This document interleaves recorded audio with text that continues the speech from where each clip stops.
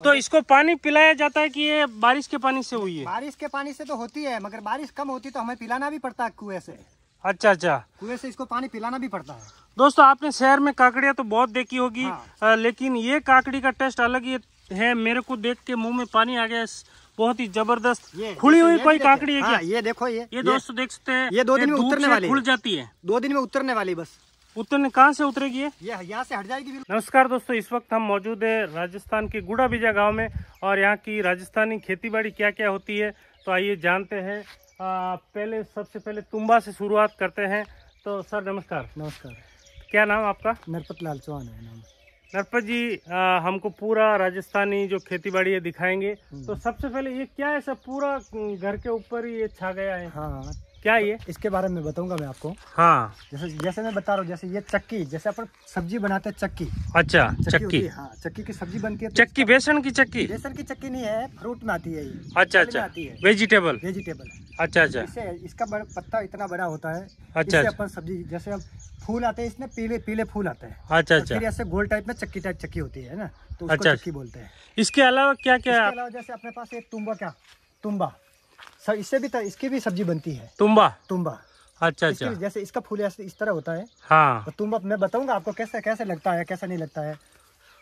और क्या क्या है इसके बाद में जैसे ये वालोर फली वालोर फली बोलते हैं अपन सब्ज़ी बनाते हैं जो दानेदार होती है। चौले की फली की तरह जैसे इसमें दाना निकलता है पपड़ी की पपड़ी भी होती है। राजस्थान में ही पाई जाती है हाँ, कि और भी जगह? राजस्थान में पाई जाती है। अच्छा अच्छा। ये चीज़ें अपने राजस्थान में पाई जाती है।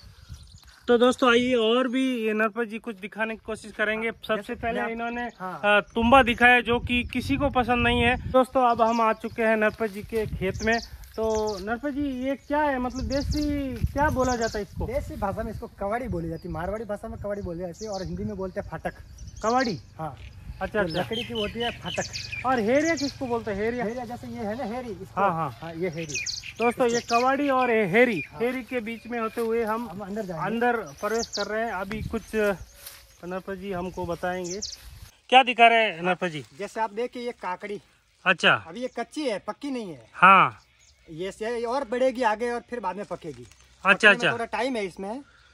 तो इसको पानी पिलाया जाता है कि ये बारिश के पानी से हुई है? बारिश के पानी से तो होती है मगर बारिश कम होती तो हमें पिलाना भी पड़ता है कुएँ से। अच्छा अच्छा। कुएँ से इसको पानी पिलाना भी पड़ता है।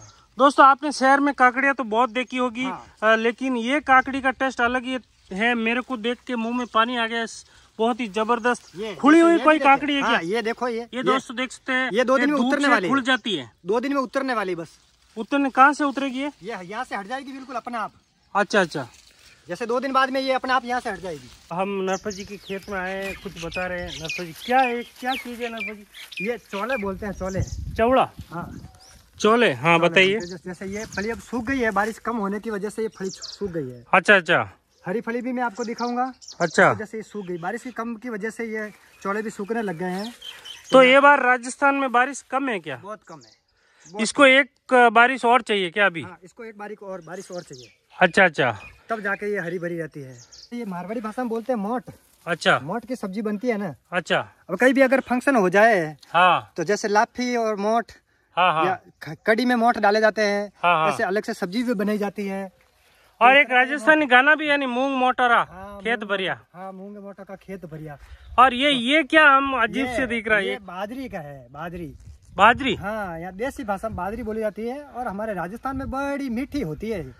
तो हाँ। ये कौन से महीने में खाई जाती है? ज़्यादातर इसका ज़्यादातर तो जो बाजरा। सर्दी के मौसम में खाते हैं ना हाँ हाँ। उसमें गर्मी नहीं करती। है ये चीज़ गर्मी की चीज़ है। बाजरा की रोटी होती है सोगरा होता है। सोगरा होता है सोगरा। इसके साथ में कौन सी सब्ज़ी अच्छा लगता है? इसके साथ में ज़्यादा करके ग्वार फली है हाँ। चौले की सब्ज़ी है काचरी और ये चौले के बीज है अच्छा, ये ज़्यादा अच्छा। करके इसके साथ अच्छी लगती है। बाजरा की होगरो ने गाँव पड़े साग। गवार फली साग। और इसके अच्छा। साथ में कड़ी भी बनाई जाती है तो इससे भी अच्छी लगती है। दोस्तों चलते चलते मैं थक गया हूँ। नरपत जी, देख सकते कितना दूर पहुँच गए हैं और मैं पीछे रह गया हूँ और मुझे बाजरा के अंदर गर्मी बहुत लग रही है। तो आइए नरपत जी से कुछ जानते हैं। जैसे बोलते हैं ना कि सिटी में रहते हैं, हम सिटी में रहते हैं। और सिटी वाले, मेरी बात सुनो। सिटी में आप रह के गाड़ी बंगले खरीद सकते हो, मगर ज़मीन नहीं खरीद सकते हो। और हम ज़मीन बेच के गाड़ी बंगले सब सारे खरीद सकते हैं। हमारे गाँव वालों को ये खासियत है। जिस गाड़ी में आप घूमते हो और उसी गाड़ी में हमें घास फूस घर घर ले जाते हैं। ये हमारे गाँव का कल्चर है। ऐसे आप सोचो तब कभी कभार गाँव में भी आया करो। गाँव का कल्चर देखो तभी आपको पता चलेगा कि हम गाँव में किस तरह रहते हैं और गाँव में कैसे चलते हैं कैसे कैसे क्या होता है। ये देख के आपको पता चलेगा। तो नरपत जी का बहुत बहुत धन्यवाद। जय हिंद जय भारत जय जवान जय किसान। दोस्तों असली अगर आप जीवन जीना चाहते हैं सुख जीवन का लेना चाहते हैं आनंद तो खे गाँवों में ही आना चाहिए। गाँव के खेतों में राजस्थान में खास करके शहरों में तो पतली पतली गलियाँ है लेकिन जो असली सुख है कल्चर भी एक बार देखिए हाँ। खेतों का रहन सहन देखिए।